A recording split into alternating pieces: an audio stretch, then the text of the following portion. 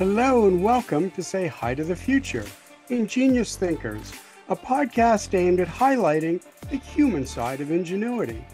My name is Ken Tenser, curator of Say Hi to the Future, helping leaders think differently in the face of uncertainty and ambiguity. Better thinking, better outcomes. With me today is Sebastien Gendron, co founder and CEO of Transpod, an organization developing the next generation of affordable and sustainable ultra high speed transportation for a better connected and fossil free society. Like this video if you enjoy our show and subscribe to our channel. Leave us a comment with who we should interview next. Thank you for tuning in, and I hope you enjoy the show. Sebastien, welcome to Say Hi to the Future. Thank you. So tell me, I mean, firstly, you have a lot of experience um, in global transportation. I mean, you have a master's in, in aerospace engineering. Um, you've worked with leaders like Bombardier, Safran, Airbus Group. How, how did that become a, a passion of yours or, a, you know, a focal point of your career? Uh, well, I always was uh, kind of interested by um, airplanes. Uh, so that's justify a bit the uh, the, the first years of uh, my professional uh, uh, career. but I was not a good fit, or I don't consider myself as a good fit for those big corporations. And and I think there is a an advice, not an advice, but something I've been following is that if you want to start a company, it's better to um, to do it in the field where you have a bit of expertise uh, and to yeah to remain in that same um, same field. And uh, that tube transportation concept we're working on at Transpod right now is literally an aircraft without wings. So it's not really hmm. far from what i used to do. Uh, yeah there's actually way more it's actually even closer to a spacecraft than an aircraft. So uh, even if it's travel at ground level it's um, yeah it's it's within my understanding i would say. So when you say that that's interesting because obviously we're becoming um, more attuned to um, i mean you have the, the transpod the the hyperloop the what there's there's just a whole different bunch of introductions into that high speed transportation at ground level. I've never heard it called or likened to a spacecraft or an aircraft. How so yeah, it's actually uh, the almost the most obvious uh, thinking you may have when you you look at that. And it, you're right. I mean, people don't don't look at that. They they most of the time compare that to a high speed train or, mm-hmm. and, but not to, not to a spacecraft. Uh, just in few words about the um, the concept, it's been around for many years, and uh, like many years and popularized recently by Musk in 2012 or 2013 and uh, he changed the name wanted to call it uh, he thought that tube transportation was not sexy enough so mm-hmm. let's call it a hyperloop to have a bit of hype behind that uh, but the um, basically it consists of having uh, vehicles the size uh, of a train coach or a bus uh, traveling in a low pressure tube mm-hmm. and this is where the spacecraft analogy comes in meaning that a low pressure tube, uh, we're dealing with pressure around 100 Pascal. Uh, so it's like similar pressure levels that if you're flying at uh, 50,000 feet, okay, or 50, no, actually it's more than that. It's uh, if you're flying at 50 kilometers uh, about uh, above, so it's it's at the edge of space.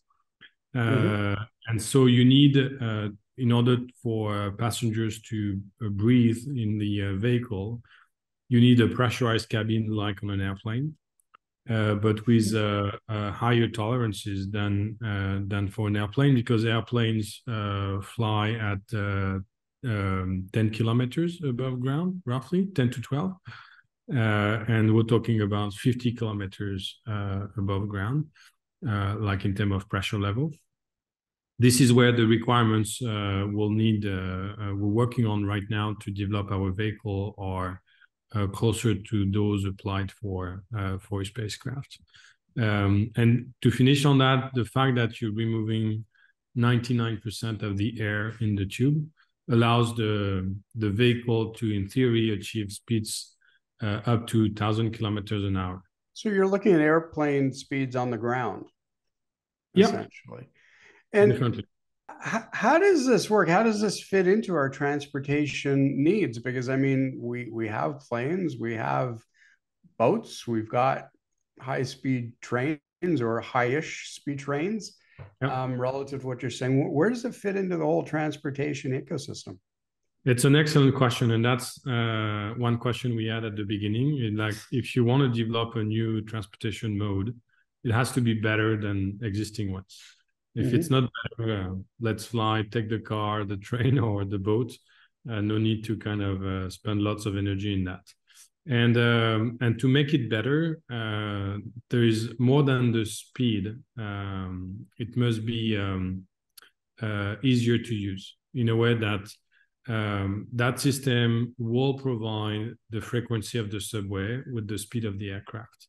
So really, in terms of uh, customer experience, we want this system to remove all the stress uh, we have uh, when we travel. Even if we're used to, we're always, I'd say, uh, running into situations where you're stuck in traffic and uh, you you uh, you're thinking about, oh, I may might miss my airplane, or and you don't want to go through all the uh, I would say painful process of the insurance, get reimbursed, rebooking the ticket anyway. Mhm. So if you know that you'll have vehicles every two, three minutes or two to five minutes, like a subway, you're removing all of that.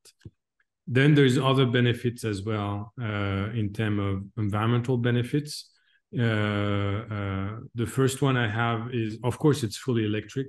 Uh, Mhm. and the goal is to power the line with uh, renewable energies, uh, nuclear included.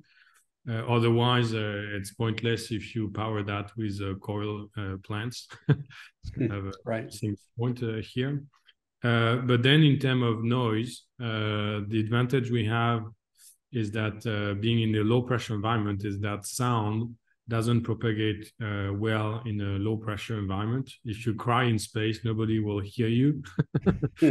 so uh, and uh, that's kind of the same uh, in the tube uh, so the amount of vibration and noise is really lim- uh, way lower than an airplane or an, an high-speed train it's also protected from the uh, weather elements so if you have a snowstorm like we have in canada uh, or uh, thunderstorm, whatever, uh, you're protected. It's a guided system. It's actually, when you look at that, it's safer than a train or uh, an airplane. And then um, the speed, I would say, it's really uh, for um, um, continent like uh, like North America, Australia, and and some lines in the Middle East. Uh, the uh, challenge uh, high-speed train have been facing in North America is that distances are um, uh, uh, bigger, greater than um, uh, what we have in Europe, and uh, then the um, the airplanes still have a significant advantage over uh, trains. Because even if you have an high-speed train at 300,000 or um, uh, traveling at uh, 200 kilometers an hour, if you have uh, 1500 kilometers to do Right. like Chicago, New York, for example, or yeah, Chicago, uh, uh, Montreal. Um, yeah, many people will still uh, will prefer flying rather than taking the train. But if we have a transport system between those two cities, then this is where it kind of starts to be uh, quite interesting. And the last item, which is the most important, is um, the ability to make those lines profitable. Uh, in Europe, Europe made the choice to provide public service uh, with high-speed train, uh, knowing that most of those lines won't be profitable. And when we started that, when were developing radical innovation, uh, it's not uh, you can't afford to to lose money because you are dealing first with the uh, with the innovation risk, and so uh, how how can we uh, address the financial uh, risk? And in our infrastructure, we can mix uh, we can mix freight and passengers. Uh, freight, we're talking time sensitive freight. So everything shipped by DHL, FedEx, Amazon, not uh, heavy freight. and uh, by mixing, by being able to mix passengers and freight uh, in the tube, uh, then you have a way better business case than an high-speed train. So when you combine all of that, then that makes sense to. This is why we're convinced that this is the the future of ground transportation. This system can bring um, uh, to people uh, what internet uh, brought to uh, information. So uh, uh, if we dream a little bit Uh, or get that vision, it's to get the uh, uh, subway map at the continent level, and rather than having I don't know two subway stations, subway station could be replaced by cities at the continent mm. level. Anyway. So that's okay. The... No, I Alex, thank you for that. That's, that's a fascinating look at it. So here's my question back to you though. When, when I listen to it, and I, and I, think I've had this. I, I this is not a unique thought. I mean, you talk about the internet, but the internet I don't see. Um, I don't need space. I don't need physical space. Where does this model work in terms of because it does need physical space, track track space. I don't know if it runs yeah. on a track or above, but how does how does that come to be? So uh, definitely we have to. It's not well. Internet there is a bit of infrastructure. You still have to install a fiber optics line, right? Or whatever. Yeah. Uh, but uh, uh yeah, nothing comparable to uh, what we do. Uh, for us, we um, we definitely need an infrastructure. You need to build those corridors between those lines, between those cities. Uh, the uh, the corridor the, the the configuration by default is above ground uh, for a simple reason. Uh, the uh, again to be better than existing mode, and I have in mind a high-speed train. Uh, we want to avoid uh, the expropriation aspect when it comes to land acquisition. Mm-hmm. being above ground, we we will allow farmers to continue to operate their land and we also will allow the wildlife to continue to do its life and because of the low uh, i would say uh, uh, noise aspect uh, yeah we we aim for the wildlife not to be annoyed by uh, uh, our system so and and depending on the geography you may have to um, dig tunnels if you have the rockies to cross or the alps or whatever differently yeah you you need tunnels. So if you enter into a dense area, it might be uh, actually cheaper to be uh, underground uh, or at ground level. So we have all kind of uh, configuration, but by default for the line we're working right now in Alberta, or even if tomorrow we do Toronto Montreal, uh, the um, the objective is to be above ground to actually uh, have an easier path to cut deals with landowners and uh, having kind of a more uh, a business interaction with them rather than telling them, "Sorry, guys, we have a line going through your land. You'll have to mm-hmm. be expropriated if you don't want to sell it." you know, so uh, and and and those infrastructure will take time, uh, take time and money. But money, the good news is that um, there's lots of um, capital uh, available right now, or even I mean, it's been a few years now, but lots of capital and uh, they're looking for infrastructure projects. Uh, so, um, uh, however, they're not giving blank check, and we have to demonstrate. Uh, we have to demonstrate the uh, the business case, and this is where the mixed freight passengers can can definitely. Uh, that's definitely our value proposition right now. So, one, I, I really appreciate the thought that expropriation is not um, necessary, not nec- or not necessarily uh, required. I think I think that's a great uh, you know to to coexist with with what is already there. I think that's a uh, a good strong opportunity. My my I guess so. Just building the business case. So um, is this is this for a government? Um, is this become a public utility? Are these privately run networks? So uh, at the moment, um, those infrastructure are fully private. Uh, even if we we um, like to call them public-private partnership, okay, mm-hmm. or like PPP project, uh, uh, as we know in in many other infrastructure. Uh, I'm when I'm saying at the moment, it's because uh, we know that governments are uh, most of the time uh, risk adverse, uh, despite what they say every day. they don't want to take a risk, and because they use the argument, "Oh, we we don't want to lose uh, taxpayer money," which we fully mm-hmm. understand.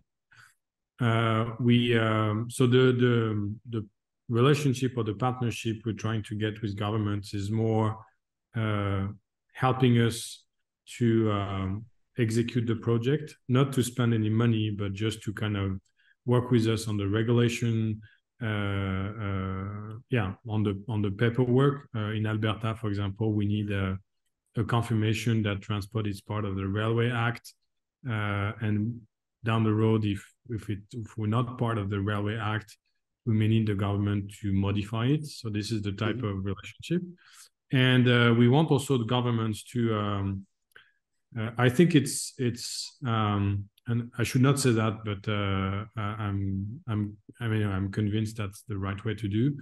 Um, governments should have a, a, a say uh, in those infrastructure, meaning that even if they don't invest, I encourage them to be uh, part of those entity executing those projects with some veto rights uh, to make sure that this transportation system doesn't uh, become a transportation system for rich people or if politically speaking uh, there's a need to add a station uh, in uh, we have the example with red deer in alberta financially speaking it doesn't make any sense to um, to add a station uh, but but if we don't do it, uh, we're not helping the city to develop economically speaking.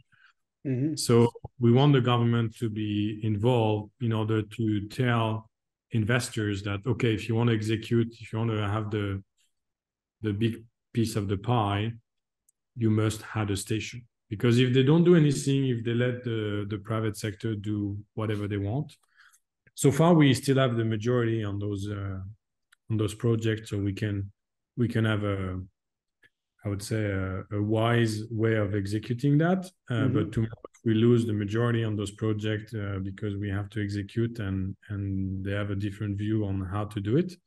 We may not have that except if the if governments uh, are involved uh, somehow. So that's the um, so public-private partnership. Yeah. No money right now. Oh, and to finish on that, those infrastructure, and I understand that governments may be a bit skeptical at the beginning, they want to see first, but we're convinced that those infrastructure will generate revenue. Uh, so uh, for government's budget, might be good to have some shares of those projects to uh, get some.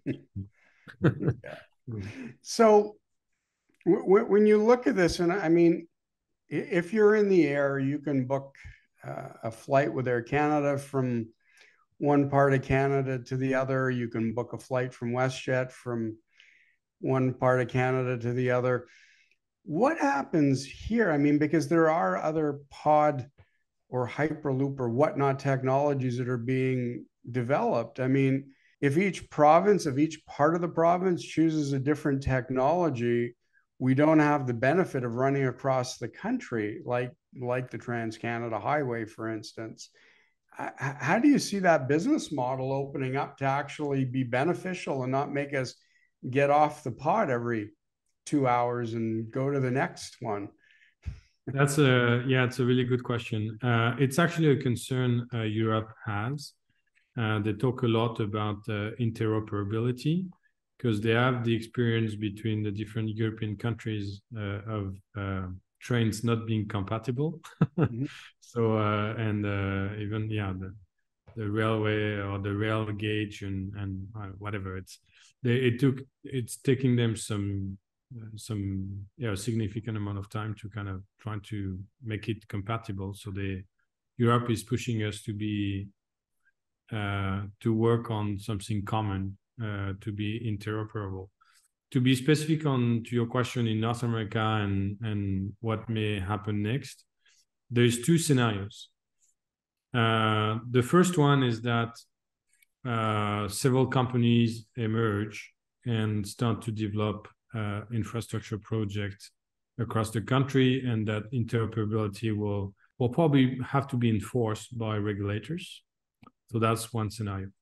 The second scenario is that the winners takes all, like mm-hmm. uh, meaning that we have a chance today uh, to um, first of all, Transpod is the only company with a first infrastructure project in Alberta with some financing confirmed. I think we uh, we have a one, if not the strongest uh, engineering strategy on how to develop the technology. Uh, we have a pretty good understanding on how to uh, uh, to make it work and a path forward. And there is a significant uh, investment coming in in the company. So as of today, uh, we're working to take the lead on that market and definitely execute the project in a in a way uh, which is way faster than our competitors.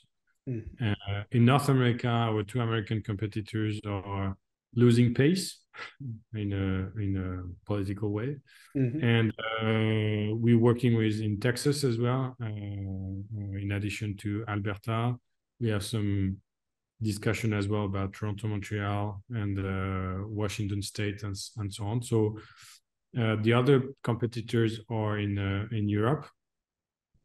And Europe, we for us, it's not a, a market because of the amount of uh, trains they already have. Right. So it's really North America, Australia, and uh, Middle East. I think we're well positioned right now, and uh, I would love if you could ask me the question in uh, six months to confirm what I just told you. so the goal is really kind of to take the lead having said that, uh, there is one um, one country uh, which is actually uh, for I see them uh, being our biggest competitor more than the other companies is uh, China.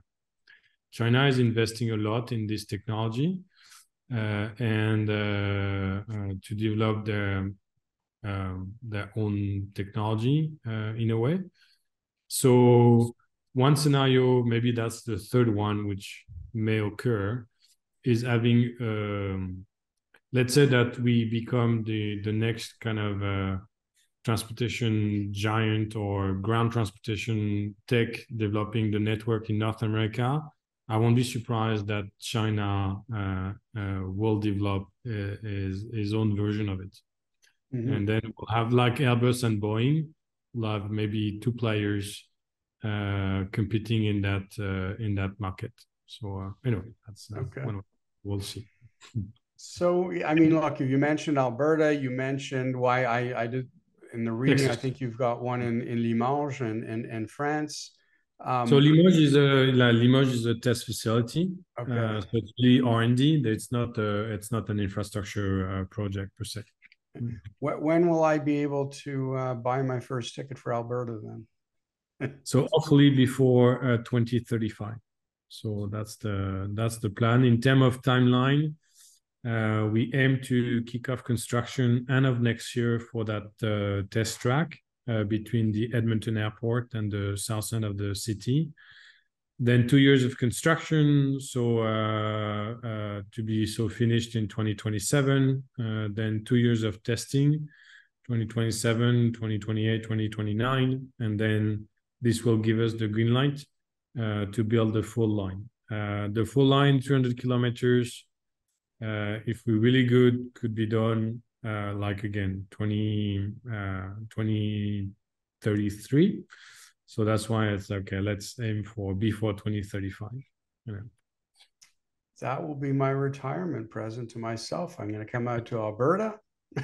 yeah, it will. And, and but even before that, if we uh, only uh, only starting the um, construction of the test track uh, hopefully next year. That would put Alberta and Canada on the map, definitely. Okay, well. Uh, you know, as our time is it's, it's come to a close here, uh, Sebastien, Sebastien Gendron of Transpod.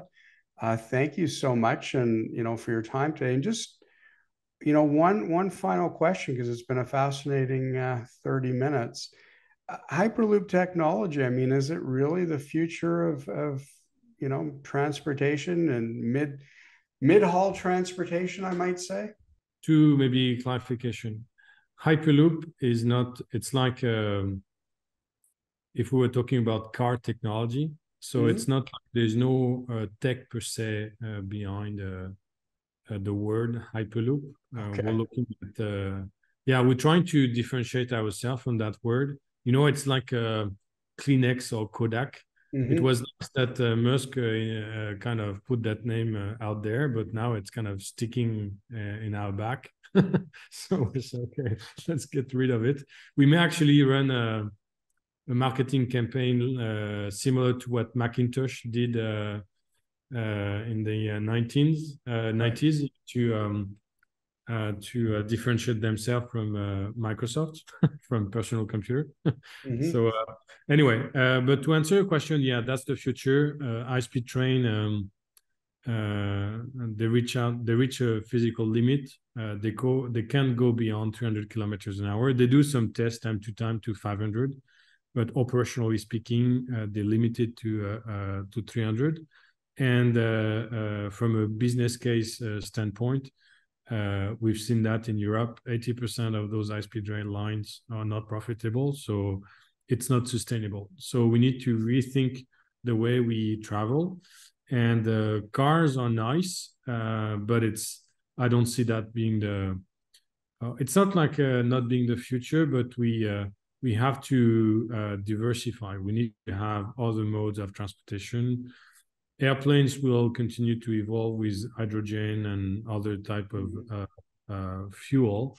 Uh, meanwhile, as the population grow, we'll have uh, other needs, and tube transportation are we see them we see that as being the future uh, for all the reasons we've discussed. Um, low noise level, 100% uh, electric, easier to use, faster uh, more environmentally friendly. So that's okay. That's we have a way to connect cities in a way more efficient way than what we have today. So uh, need to uh, get it done. Okay. Well, we look forward to it. Earlier, you said, you know, ask you again in six months. We we often do uh, checkbacks. So if you have something that you want to update us with, uh, reach out to Sonia. We love to do quick updates uh, on our podcast and on our social media to keep uh, engaged with our say hi to the future thing. No, definitely. On one one topic for uh, in in six months is uh, how uh, uh, innovation is being financed nowadays. Love to chat about that one. So again, Sebastien, thank you so much. Thank you for talking about Transpod, and we'll we'll speak again. Excellent. Thank you very much.